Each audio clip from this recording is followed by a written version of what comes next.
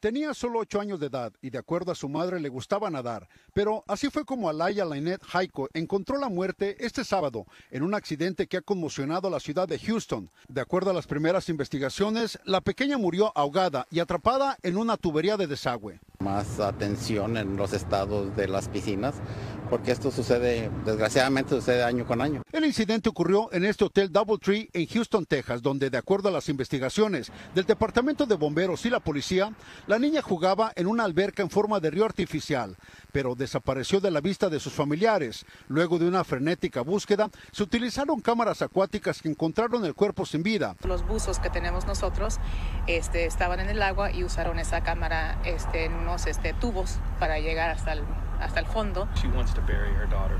La madre de la menor no ha hecho comentario alguno, pero en la demanda civil presentada hoy, los abogados de la familia indicaron que la niña fue violentamente succionada hacia un hueco abierto e inseguro de 12 a 16 pulgadas en el sistema de flujo del río artificial. La compañía Hilton, que está incluida en esta demanda, ofreció sus condolencias a la familia.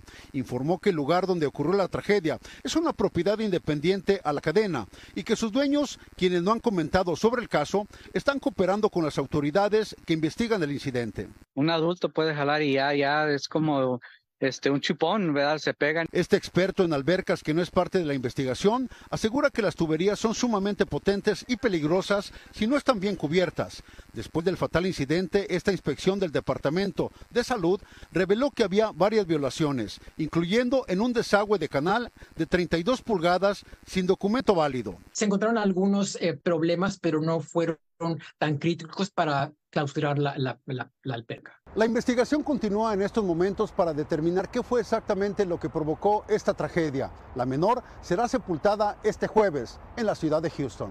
Francisco Cuevas, Noticias, Telemundo.